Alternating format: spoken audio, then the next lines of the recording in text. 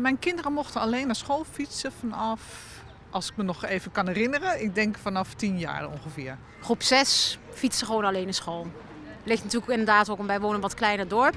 En dan mag je eigenlijk, uh, ja, ze is zelfstandig, dus dan uh, het is maar een klein stukje. Ik zit denk een jaar of acht, negen. Uh, van mij mochten ze ja, groep 7, groep 8. En ook niet altijd. Als het heel hard regende, dan wilde ik gewoon mee omdat het zicht dan gewoon niet goed is. Uh, toen ik nog in Amsterdam met hem woonde, dacht ik wel echt, oh, het lijkt me heel spannend als hij hier straks alleen moet fietsen door de drukke straten.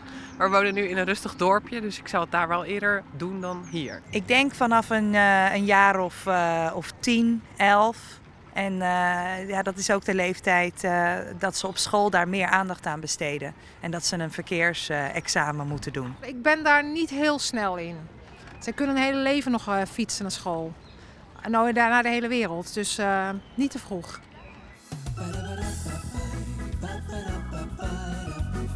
Ik was bang eigenlijk meer voor het feit dat ze, ja, dat ze snel afgeleid zouden zijn. Uh, dat ze zich niet goed aan de verkeersregels zouden houden. Maar ja, ik denk dat het aan de ouders is om ze daar toch in te begeleiden voordat ze echt losgaan, zeg maar. Ik, ik ging er achteraan fietsen en dan zei ze, mam, ik zie je heus al staan hoor. Ik zie je echt, echt wat staan daar.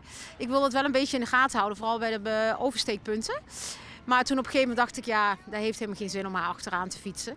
Dus uh, ja, ik, je moet het vertrouwen hebben. Uh, ja, het liefste fiets ik eerlijk gezegd nog wel mee, maar uh, ja, ik vertrouw het nu wel. Die eerste paar keren dan heb ik wel een beetje buikpijn. Maar, want ja, dat is toch dat is even iets heel anders natuurlijk. Maar uh, daar heb ik ook weer vertrouwen in. Ja, ze mochten niet alleen fietsen naar hockey en voetbaltraining.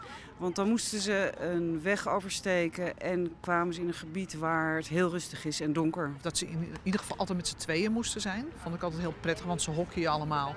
Dus dan moesten ze toch best wel een stukje fietsen. En ik zeg nooit alleen en laat ook niet degene waar je mee gaat alleen. Fietsregels? Heb ik er nooit van gehoord. nee, geen fietsregels. Gewoon, uh, nee, gewoon netjes fietsen. Maar fietsregels, nee, die hebben wij niet.